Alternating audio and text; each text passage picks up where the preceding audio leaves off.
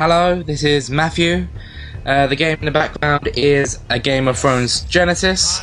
I have brought Joe along to watch this and talk. Hello there. Um, basically, this was a drunken purchase, uh, Yeah, I which Joe remember was you there doing part of. In fact, I believe he put it on the purchase screen for me. Uh, but you're the one who accepted the agreement and bought it, so Uh, yeah, it I- wasn't me at all. Alcohol was flowing freely that night.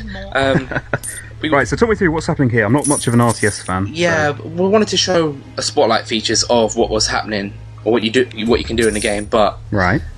the AI wasn't really cooperating with me to do that. So instead, I've just played the game, put it in the background, and I thought I'd talk about its features. So basically, as you can see at the moment, they're in at the top of the screen.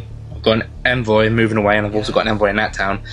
Your envoys, um, they go to towns on your behalf, and they basically coerce Right. the village, town, castle, Into joining your mine, forces. into joining my alliance. Yes, my faction, which was it's it's very handy to have them. Um, Yes. they they can also buy. Why, why is it all grey, Matt? because, oh, because that's because you don't own it. If you don't own it, it's a bit like fa- uh, it's a bit like Fog of War, Okay. and also I think it actually helps you see what you actually control half the time. all right. If I can see pretty clearly, I know it belongs to me. um, as you can see just there, which was a few minutes, about a few seconds ago, I, cl- I clicked on a spy and I sent it to a town owned by someone else, and that was to arrange a secret agreement. Now these agreements, um, they mean that the town will, to the enemy, I'll take his look place. like it's theirs, but really it's Right. ours. We get half the income of what we should be getting, but the enemy gets no income anyway, so it kind of balances itself out there. Yeah. Um, So there's a peasant there. What's he up to? Yep, he's that's a peasant. I've, I've decided I'm gonna I'm gonna get ready for war early here. Hmm. For, to wage war, you need an army, Yeah. not just mercenaries, which you need gold for, but an actual army. And for an army, you need food.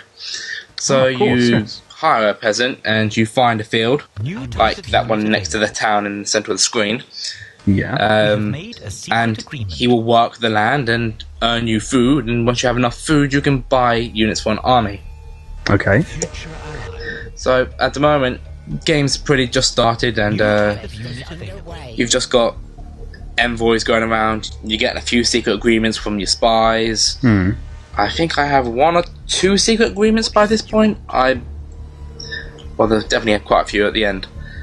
Um, So fans of this game are obviously going to be buying because it's based on a Game of Thrones. yes, How I, how much like you know a Game of Thrones is it? well, I have heard. I don't know stories- it at all. More I have heard stories that this was What is it? in the works from 2009. I, I, I, I, I don't know nothing Oh, right. about this game, but I know about as much as everyone because So it that's appeared- like before it the appeared out of TV? nowhere, yeah. Um, all right. But to say it was solely based on the books would be a complete and utter lie, because I the noble lady looks exactly like Sansa from the series. Hmm. So I guess it's mm, could be using thing. Um, quickly here, What's this I- mole doing here? this mole is the Lannisters' Yeah. secret uh, unique unit, and basically he just takes the role of anyone else in Okay. the like an envoy or a spy. Infiltrates. Yes, he becomes it, and he will appear to be the enemy's man. But every alliance he'll make, because that was an envoy I took, will actually be fake. So, All right. Yeah. um, who's have I got? Tyrell. So basically, everything the Tyrells now capture with that envoy, they'll think they have, but in reality, it will just either be mm, just stay the, the way neutral or belong to it belongs to. But as I was saying, yeah, it's um We're on our way. the campaign does feature characters and names you've known, like uh, Nymeria, um, who Arya uh, names her wolf after, is basically in the first part of the story. ally. We have One more ally.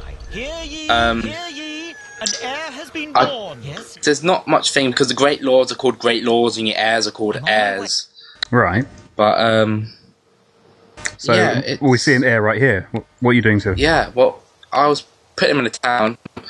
It ultimately it doesn't bode well. I, I do mess up, and I believe that one of my own assassins is my enemies, and uh, it kind of ends up with my heir getting a knife in the back, which I was not best pleased about, but Aw. I recovered.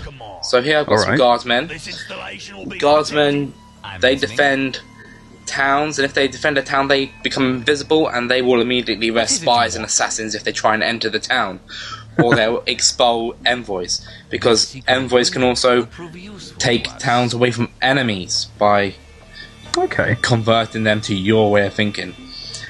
Um, so So- the guardsman can also defend an envoy or a great lord or an heir or, or just anyone really. So if you had to kind of compare it to another RTS kind of type game, what what how, what would you compare it to? I, I honestly can't. This game is Right. it's a very bitchy game. Everything. I mean, You were saying this, yeah. okay. See this bar at the top? That's the peacetime bar. Okay.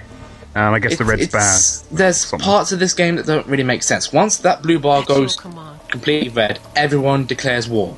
Everyone And- goes to war, and war is irreversible. Right, and- so you're always at war. At the end, yeah. But for, as you'll see, Hmm. war At your command. in this map will only last four minutes. Four minutes, okay. Four minutes. That's minutes. a very quick war. yes, basically, I have become visible. I, I win. I'm not gonna lie. I'm not. I'm not gonna lie. oh, of course. Of course Why would you lose in a video like this? No, I, I, I didn't. Ha- I didn't come in here with the aim to win. I just had the aim to play. Um, yeah, I win, Good man. and I'm on about eighty prestige points, A future ally. and you need hundred to win. And war break, and I'm so when war breaks out, I want him prestige eighty prestige points. As you can see, I am already earning two bits of prestige points. One from the silver chalice, which is having the most allies, having the most towns. And that's at the top of the And- screen, yeah? Yep. And I also have the gold coins. I'm the Lannisters, so I'm always going to have the most money. Okay. I thought that'd be quite nice, so I, I did We go for more earning money. Um, but you can Yeah. also see there's a knife that's for killing the most people, and those other Oh, so three, these are achievements at the top. basically. And if you and if you're the one that has does that achievement at the moment, Yeah. you get prestige points over time. As I'm saying here, look, that looks like Sansa from Game of Thrones. The TV Well, I can't comment because I've never seen Game of Thrones. I should, I'll force it upon you when next time I see you. No. And Okay. those other three are septs, basically churches. And if you Okay. control one of them, you get points. So as you can see, the Tyrells are kind of rocking that out a bit. But then again, I've just killed quite a lot of people. This is a the Great. Lord is speaking. We accept Yeah. this offer of a pact. He's offered me a pact. To be honest, I've not actually had any real sense of value from a pact at the moment. What what do they do? Well, there's the mutual benefit pact that allows Yeah. me to see. So, say I became ooh, very unlikely allies with the Starks, Yeah. um, I'd be able to see what the Starks can see. okay. So, if they had like an envoy down all the way south with, Hmm. in the Martell's lands, like uh, those orange towns on the map, then Right I'd be the able to see yeah. there, yeah, because I can Yeah. see what they can see. But um, So there are some benefits, I guess. Yeah, but uh, not really because once war day gets declared, I it's just one massive fest. I mean, that's what really lets it down. There's no alliance system. There's no real grandness to the war. I mean, the peacetime is perfect. I love it. It's so bitchy. It's just like trying to get the most things. The You were AI saying when you got it, yeah. yeah, the AI doesn't quite use that. Here, here's the part where I'm thinking, my assassin, come over here. Yeah. And then he, he's not budging, so I'm, I'm starting to think something's wrong. And I finally Ah. realise, a bit too late. He's a spy. No, he's an assassin. A spy is something completely different. I've also lost one of my spies. He's in jail. And Ooh. uh, I couldn't quite remember how to go bust free him him because I believe the tutorial about spies and stuff was um, We have lost an kind of hazy to me because that was early in the morning and I was very tired. t- tidy, very tired. Very tidy, yeah. Yeah, I'm a bit tired now. Um, Now, I'm seeing on the right here, what is this green bar? There's a green shield or something on, on like a. yes, chain. that's What's what that? I was trying to describe earlier. That's Yeah. your prestige. That's how you tells who is winning.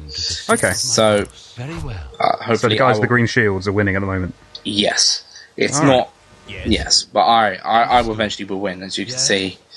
I'll, I'll slowly get up there. Star Wars, I don't think come anywhere close to winning this one. I believe it's me, and then the nearest one's the Baratheons on 60. Okay. So, um, How close to war are we here? oh, we see the red bar, green bar, blue Yeah. bar, sorry. Uh, red, when it gets completely red, that's Ready. Mm, wartime. Yeah. And do you remember I talked about secret alliances with the spy earlier? Yes. Yeah. Any secret alliance you have be- when you go into war Okay. will ve- become your town, Oh, I and see, it'll yeah. take and it'll take prestige points away from the enemy. Ooh, however-? Oh, I arrested the the assassin that killed my heir. Like I was letting him get away. Yeah. um, but uh, so once you've gone into war, everything gets locked basically. Oh, it's E- not like every DEFCON, town, is it? every town you own becomes your own, and that's it. They'll become loyal to you. Um, we Yeah. The only way to take them is by fighting. So essentially, envoys become useless once the, once war is declared.